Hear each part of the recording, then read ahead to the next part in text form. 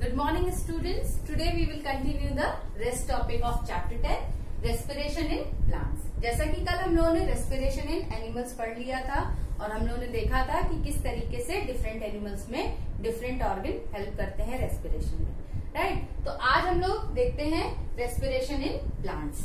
तो start करते हैं students. Plants also exchange gases during respiration. Plants take in oxygen and release carbon dioxide. The oxygen is utilized to break down glucose into carbon dioxide and water as in the other animals. Respiration in plants take place through roots, stems and leaves. तो जैसे कि और animals में होता है उसी तरीके से प्लांट्स में भी रेस्पिरेशन होता है कि ऑक्सीजन लेते हैं और कार्बन डाइऑक्साइड रिलीज़ करते हैं राइट अब क्या होता है?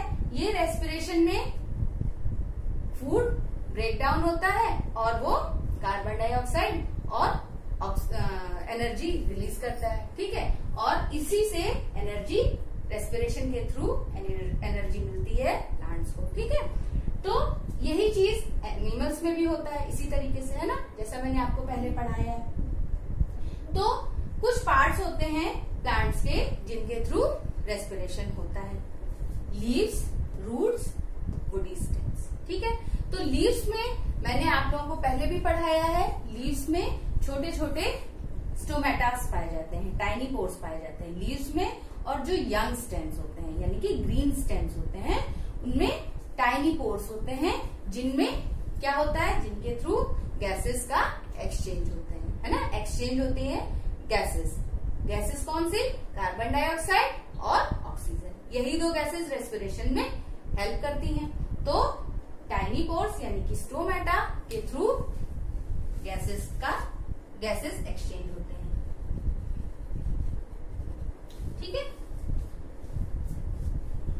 Leaves and young green stems take in the air and release carbon dioxide through the tiny pores called stomata अभी जैसा मैंने बताया कि लीव्स में स्टोमेटा होते हैं और जो ग्रीन स्टेम्स होते हैं, है ना?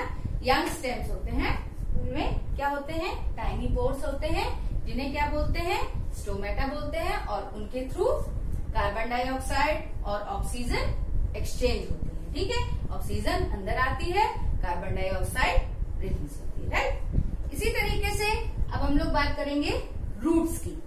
Like all other living cells of the plants the root cells also need oxygen to generate energy जैसे कि और जो प्लांट्स के पार्ट होते हैं, उनमें ऑक्सीजन की ज़रूरत होती है। उसी तरीके से रूट में भी ऑक्सीजन की ज़रूरत होती है ताकि एनर्जी जनरेट हो सके right the roots of a plant have a very large number of tiny hairs on them called root hair तो रूट पे क्या होते हैं? बहुत छोटे छोटे बाल मतलब हेयर लाइक स्ट्रक्चर्स होते हैं, जिन्हें क्या बोलते हैं? रूट हेयर बोलते हैं राइट तो अब ये रूट हेयर किस तरीके से हेल्प करते हैं रेस्पिरेशन में? Air is present in between the particles of soil the root hair are in contact with the air present in the soil particles. तो रूट किसमें होती है? सॉइल के अंदर होती है है ना? और रूट किसके कांटेक्ट में होती है? सॉइल के कांटेक्ट में आती है। अब सॉइल में किस तरीके से से वो रूट हेयर के थ्रू ऑक्सीजन लेगी? Oxygen from air in soil particles diffuses into root hair and reaches all the cells of the root तो जो ऑक्सीजन होती है from air in soil particles वो क्या होती है? सॉइल पार्टिकल्स के के थ्रू ऑक्सीजन क्या होती है? डिफ्यूज होती है और वो रूट हेयर के थ्रू होते हुए पूरे सेल्स में जो रू, रूट के पूरे सेल्स में वो जाती है ठीक है? Where it is utilise in respiration जो कि रेस्पिरेशन में यूटिलाइज होती है ऑक्सीजन ठीक है? अब क्या होता है? Carbon dioxide produce during respiration carbon dioxide जब रेस्पिरेशन होता है तो कार्बन डाइऑक्साइड प्रोड्यूस होती है। और फिर क्या होता है? ये carbon dioxide goes out through the root hair by the process of diffusion और ये कार्बन डाइऑक्साइड क्या होती है? डिफ्यूजन के प्रोसेस के थ्रू रूट हेयर के से होते हुए बाहर चली जाती है। ठीक है स्टूडेंट्स तो ये क्लियर हो गया कि रूट में रूट हेयर के थ्रू रेस्पिरेशन होता है। अब हम लोग देखेंगे स्टेम्स में, ठीक है? The stems of herbs have stomata for exchange of oxygen and carbon dioxide जैसा मैंने अभी आपको बताया, जो हर्ब्स के स्टेम्स होते हैं, यानी यंग स्टेम्स होते हैं, उनमें ग्रीन स्टेम्स होते हैं, उनमें स्टोमेटा होता है और स्टोमेटा के थ्रू गैसेस का एक्सचेंज होता है, ठीक है?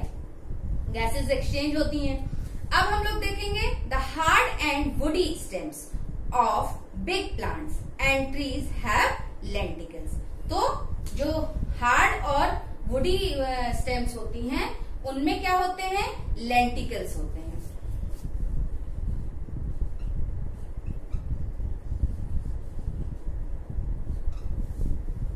लेंटिकल्स होते हैं जिनकी वजह से उनमें रेस्पिरेशन होता है, ठीक है?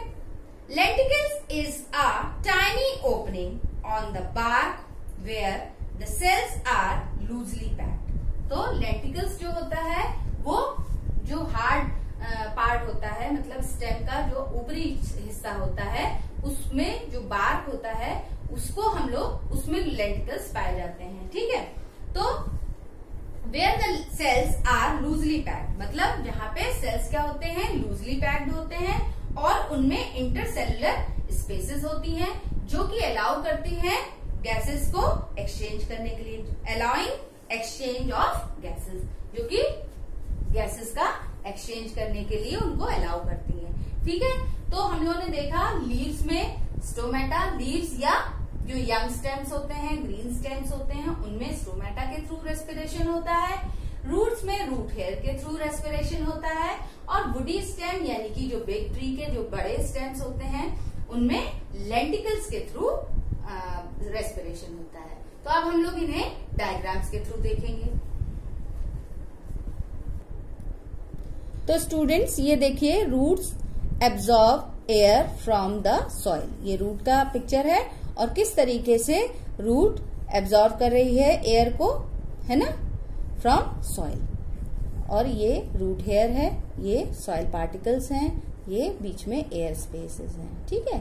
तो एयर स्पेस आपको दिख रहा है ये, और ये सॉइल पार्टिकल्स है। इसी तरीके से नेक्स्ट पिक्चर है lenticels in the stem of woody plant जैसा मैंने अभी आपको बताया कि जो वुडी प्लांट होते हैं, उनके स्टेम में इस तरीके से बार्क होती है ये हाँ और इसमें लेंटिकल्स होते हैं, ये लूजली पैक्ड होते हैं, है ना, और इंटरसेलुलर स्पेस होता है, इसी की वजह से ये अलाउ करते हैं एक्सचेंज ऑफ़ गैसेस राइट और ये इनर लिविंग सेल है जो अंदर की है, ठीक है?